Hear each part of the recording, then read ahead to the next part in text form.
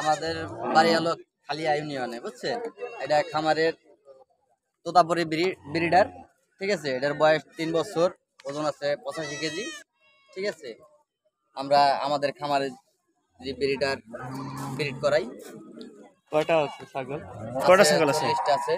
চল্লিশ পাঁচচল্লিশটার মতন আছে বাচ্চা বুচ্চা দিয়ে ঠিক আছে? ব্রিডার এই একটাই। আরও ব্রিডার আছে কিন্তু অন্য প্রজাতির ঠিক আছে?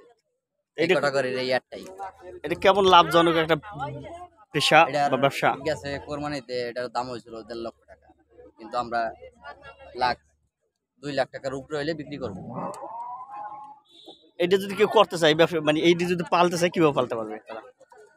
তবে যেভাবে খামারদের খামারিদের প্রশিক্ষণ হিসাবে করতে হবে যেমন এটারে আড়াইশো গ্রাম দানাদার খাবার খাওয়াইতে হয় আর তিন কেজি পরিমাণের ঘাস দৈনিক। তিন কেজি কাঁচা ঘাস হইলেই হয়। তিন কেজি কাঁচা ঘাস আড়াইশো গ্রাম দানাদার খাবার। দানাদার খাবার মানে শুকনা খাবার যেমন গম ভুসি ভুট্টা। গম ভুসি ভুট্টা এসবই খাওয়ান। ছোলা আছে। আপনার নাম কি? আমার নাম মোহাম্মদ হানিফা মোল্লা। ধন্যবাদ ভাই বুঝছে